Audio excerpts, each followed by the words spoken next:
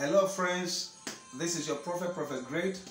Please, if today is your very first time of watching our channel, we urge you that you subscribe, you like, and you share, and the God of heaven will bless you in Jesus' name.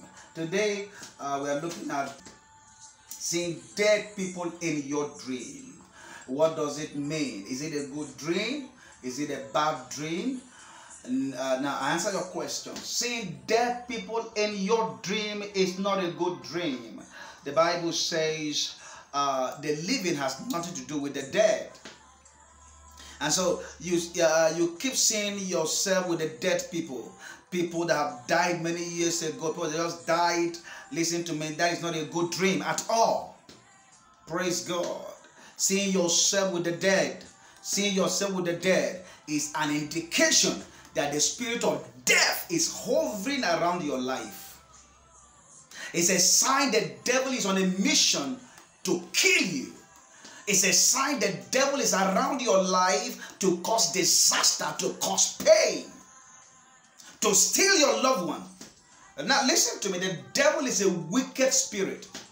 He does not come around people to greet them, to congratulate them. Anytime the devil comes around a man, he comes to cause pain. He comes to sow tears. Remember what the Bible said. The Bible said when men slept, the devil came and sowed tears. When he visited Job, he didn't come to greet him. He didn't come to say, well done. Ahead of you, ahead of your exploit. No. He attacked his businesses. He crushed everything. He attacked his children. He killed everything. He attacked his health. So the devil is a wicked spirit. And so when you see him coming in that form, showing you dead people, dead people is a sign that the devil is on a mission against your life, against your marriage, against your finance.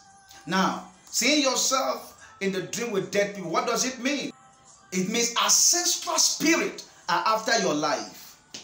Sometimes you see your great grandfathers, Sometimes you see your great grandmother or you see your mother that died many years ago appearing to you, talking to you, or giving you something. It's a sign that ancestral spirits are making claims over your life. It's a sign that the devil, through ancestral spirit, is making claims. Is after your destiny, after your glory. Satan want to rubbish your glory.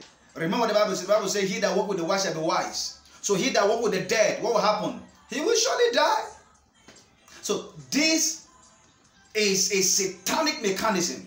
The devil, he will come through. And you see, it's your mother that died many years ago, that appeared because he knows that if he comes in another form, you won't listen. He won't get you. So he will remember, he is a subtle spirit, full of devices. Praise God. And so he's coming to steal, he's coming to afflict, he's coming to kill, he's coming to waste, he's coming to rubbish your glory. But I pray for you today. Every spirit of death hovering around you, I arrest that spirit in the name of Jesus. Any ancestral spirit making claims over your life, uh, reaching your life through your loved ones that have died many years ago. In the name of Jesus, I disconnect you from such powers in the name of Jesus. Peace unto you. You are free. Shalom. Jesus' name. Hallelujah.